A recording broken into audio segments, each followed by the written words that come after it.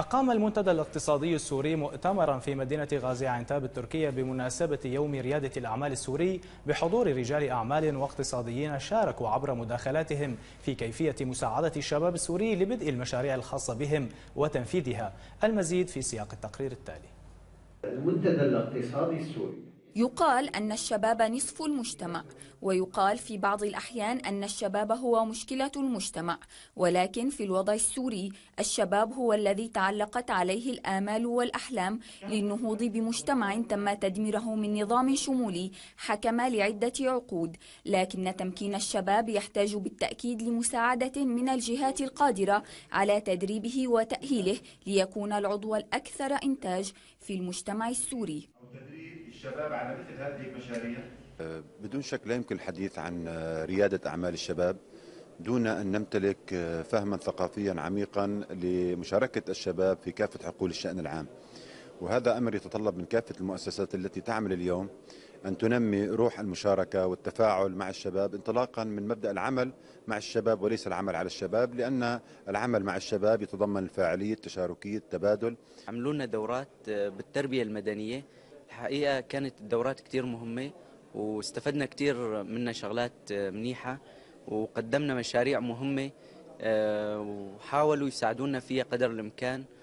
إمكانية الوصول إلى المعرفة؟ في مؤتمر ليس الأول من نوعه في مدينة غازي عنتاب التركية دعا المنتدى الاقتصادي السوري العديد من النشطاء والاقتصاديين لمناقشة وضع الشباب من عدة نواح يهدف من خلالها تدريب ثلاثين طالب وطالبة وتزويدهم بالمهارات الفكرية والريادية بالإضافة إلى مساعدة الشباب وبالتعاون مع المجلس المحلي على حل المشاكل الموجودة في مجتمعهم من خلال ابتكار الحلول الحلول المناسبة عبر توفير سبل دعم لازمة لمشاريعهم. كما يقوم بتأهيل الشبان ذوي الخبرة والذين تتوفر فيهم بوادر القيادة والإبداع. عم نحاول نعلم الشباب آه، كيف يبدأوا بعملهم الخاص.